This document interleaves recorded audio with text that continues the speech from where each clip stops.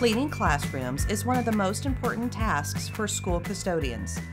Today we'll learn how to clean a classroom with H2 Orange 2 Concentrate 117. This product will clean all the surfaces in your classroom, from glass to carpet to desktops. To clean a classroom, you'll need green light duty spray bottle, red heavy duty spray bottle, green light duty in a mop bucket, wet floor sign, dust mop or broom and dustpan, trash can liners, paper towels, high duster, vacuum. We'll be following these simple steps to classroom cleaning. We'll use red heavy duty on all heavy touch points and green light duty on all glass and floors. Let's get started. Step 1. Dust.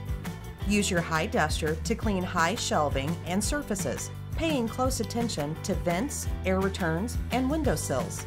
Step 2. Remove trash.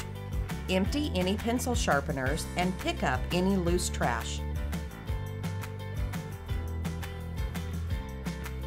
Remove full trash bags and replace with a fresh liner.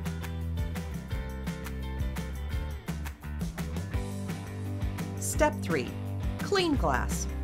Use the light duty green in a spray bottle to clean glass, mirrors, stainless steel, and all other shiny surfaces.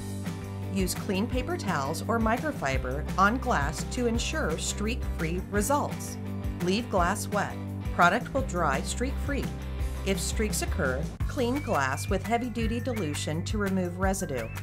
Then resume daily cleaning with light duty. Step 4 clean desktops and other touch points.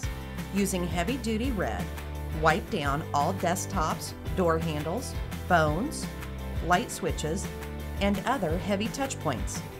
For delicate surfaces like light switches, spray your towel first, then wipe. Once the surface has been cleaned, spray it again and leave wet for 5 minutes to achieve sanitizer virucidal kill claims. Allow surface to air dry clean whiteboards and chalkboards. Use light duty green to spray and wipe down any whiteboards or chalkboards, unless the teacher marks it otherwise. Use heavy duty red if marks are difficult to remove. Step 6. Clean carpets. If your classroom has any carpeted areas, vacuum them. Then use heavy duty to spot clean any new stains. Scrape up any surface soils, spray the spot thoroughly, and then blot it with a paper towel or microfiber towel. Step 7. Sweep. Pick up all trash and sweep floors thoroughly, taking care to get into corners. If using a dust mop, sweep in a figure 8 pattern, leading with one edge of the mop. Step 8. Mop. Before you get any water on the floor, place a wet floor sign at the front of the classroom.